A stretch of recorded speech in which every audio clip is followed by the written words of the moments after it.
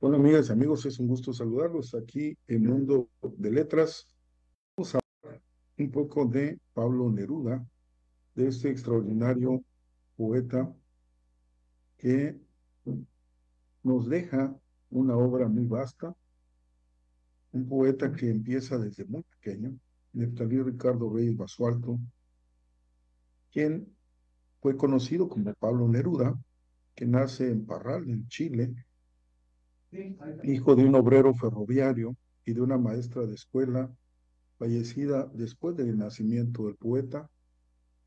Y este poeta, que se traslada a Temuco cuando era niño, donde su padre se casa con Trinidad Candia, a quien menciona en textos como Confieso que he vivido, tiene el memorial de Isla Negra como mamá madre. Estudia en el Liceo de Hombres de la ciudad y publica sus primeros poemas en el periódico regional La Mañana.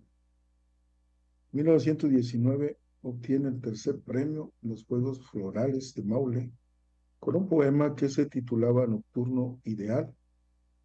Después radica en Santiago de Chile y estudia pedagogía en francés en la Universidad de Chile y obtiene el primer premio de la fiesta de la primavera con el poema La canción de fiesta.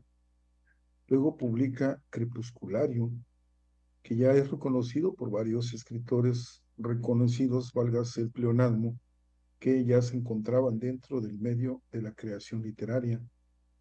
Y luego, al año siguiente, 1924, aparece en Editorial Nacimiento la obra que lo iba a proyectar a todo el mundo, titulado Veinte poemas de amor y una canción desesperada. Esto que llega a ser de este libro que publica por primera vez los dos poemas más leídos de todos los tiempos. Y aquí se nota una influencia del modernismo. Luego hay un propósito de renovación formal de parte de él, de intención vanguardista, entre libros que se titulan El habitante y su esperanza, Anillos y Tentativa del hombre infinito.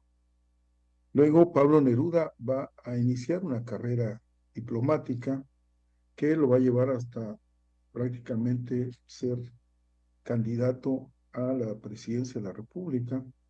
En 1927 comienza esa larga carrera diplomática cuando es nombrado cónsul en Birmania en esos viajes que él tenía, conoce a Federico García Lorca y a Rafael Alberti. Curiosamente, ambos los conoce a uno en América, que era de origen español, y al otro lo conoce en España.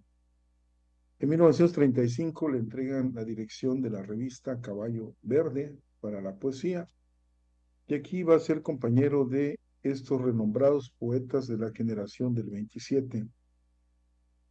En ese mismo año va a aparecer la edición de Residencia en la Tierra. Luego estalla la Guerra Civil Española, va a morir Federico García Lorca y Pablo Neruda es destituido de su cargo de cónsul y entonces escribe España en el corazón. En 1945 obtiene el Premio Nacional de Literatura. En 1950 publica Canto General en donde su poesía ya tiene una intención social, ética, política. Luego va a publicar Los versos del capitán en 1952 y luego Las uvas y el viento y odas elementales de 1954, donde va a tener poemas a las frutas y a diversos temas. En 1958 aparece Extravagario, donde hace un cambio en su poesía en 1965 le otorgan el doctor honoris causa de la Universidad de Oxford en Inglaterra. En octubre de 1971 recibe el Premio Nobel de Literatura. Y va a morir dos años después en Santiago de Chile en condiciones un poco raras. Póstumamente eh, se publican sus memorias en 1974 con el título Confieso que he vivido este poeta extraordinario que tiene de los poemas más leídos de toda la historia. Este es uno de ellos. No es el primero, el primero es el poema 20 de su libro, pero este poema también hermoso que dice, me gusta cuando callas porque estás como ausente y me oyes desde lejos y mi voz no te toca. Parece que los ojos se te hubieran volado y parece que un beso te cerrara la boca. Como todas las cosas están llenas de mi alma, emerges de las cosas llena del alma mía. Mariposa de sueño, te pareces a mi alma y te pareces a la palabra melancolía. Me gusta cuando callas porque estás como distante y estás como quejándote, mariposa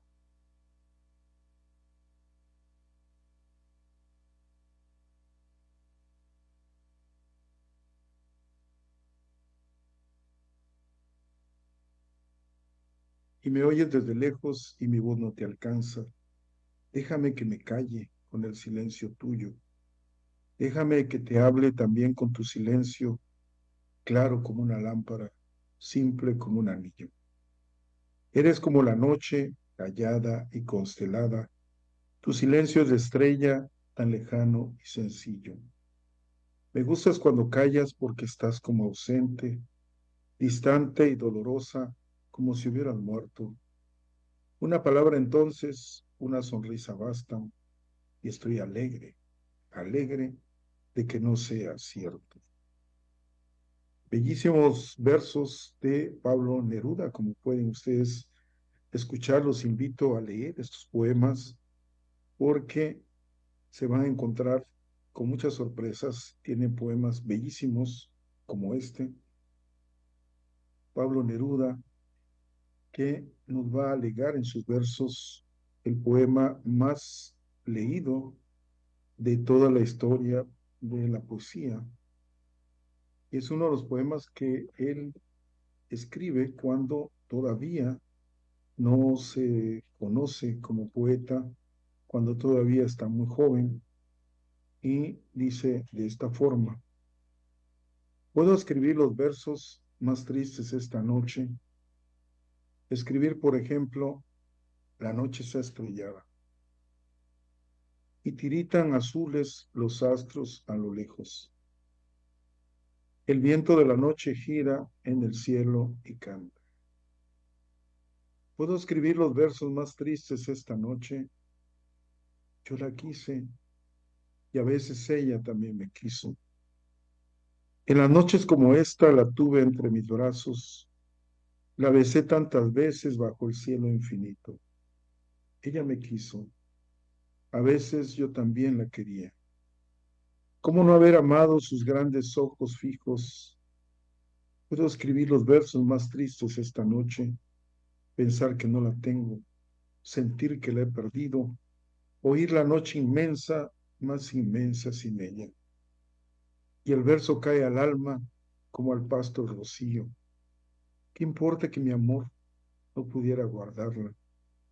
La noche está estrellada y ella no está conmigo. Eso es todo. A lo lejos alguien canta, a lo lejos.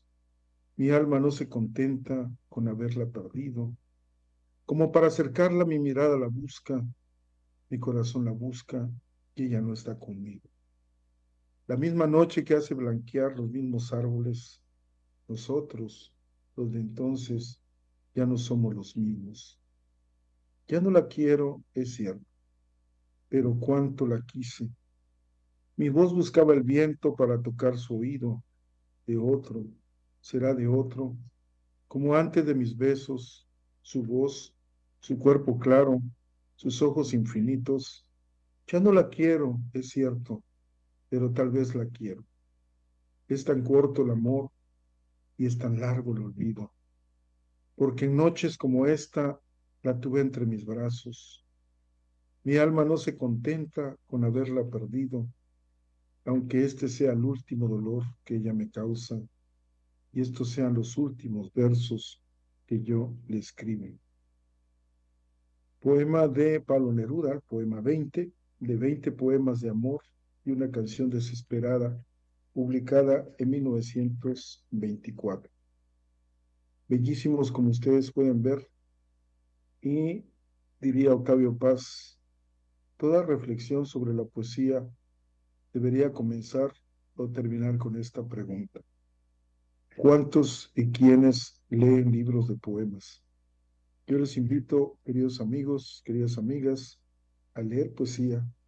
Se van a sorprender de lo que es el ver estos versos hermosos, preciosos de un poeta como Pablo Neruda, que nos deja dentro de su historial bellísimas palabras escritas durante toda su vida en esta forma de escribir como él siente y además después de que estamos celebrando a unos días precisamente de conmemorar su nacimiento. Les invito a leer sus poemas, a leer más sobre él, a ver una película que hay sobre Pablo Neruda y ustedes se van a divertir y sobre todo van a disfrutar de lo que son este arte este arte de la palabra en versos. Amigas amigos, los invito a continuar viendo la programación de Ultimatum MX, los noticieros en la mañana y en la tarde. Por supuesto, los invito para el programa del día lunes de línea médica en este mismo horario, el día miércoles Guerrero de la Paz y por supuesto el próximo viernes nos veremos aquí en Mundo de Letras. Hasta pronto.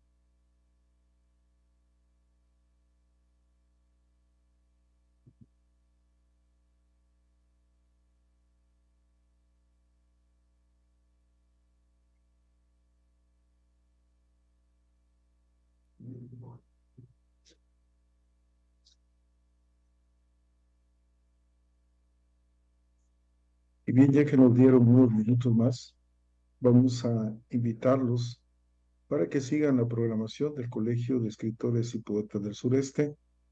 Nos pueden buscar en Facebook y, por supuesto, nos pueden buscar también en YouTube con los programas que cada semana se van subiendo para que ustedes tengan información sobre la creación literaria. Es una, es, es una actividad que se lleva a cabo prácticamente diario porque ahí compartimos libros de poesía de todos los tiempos, las nuevas presentaciones y por supuesto las noticias de la creación literaria que no pueden dejar ustedes de buscar. También los cursos nuevos que hay sobre cómo escribir y en este aspecto sobre novela, sobre cuento, sobre poesía, sobre ensayos. Aquí en la página del Colegio de Escritores y Poetas del Sureste. Por supuesto que en Ultimatum MX van a encontrar toda la programación que tenemos desde hace más de un año y en el legado de un maestro, también en Facebook y también en YouTube, donde pueden consultar más información también sobre filosofía, filosofía occidental y también filosofía de las artes marciales para que ustedes estén bien enterados y además puedan ahondar en algunos temas que les llame la atención, que les guste, para que disfruten sobre lo que es estar dentro de los libros, que sigue siendo un particular disfrute que tenemos porque hay literatura desde hace dos mil años antes de Cristo, es decir, prácticamente cuatro mil años. Amigas y amigos, ahora sí, nos vemos en el próximo programa y no se olviden de sonreír.